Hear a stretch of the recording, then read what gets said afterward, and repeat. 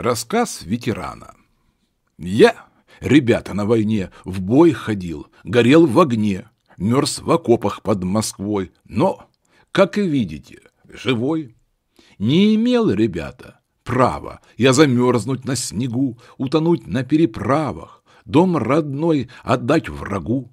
Должен был прийти я к маме, хлеб растить, косить траву, в день победы вместе с вами видеть небо синеву, помнить всех, кто в горький час сам погиб, а землю спас.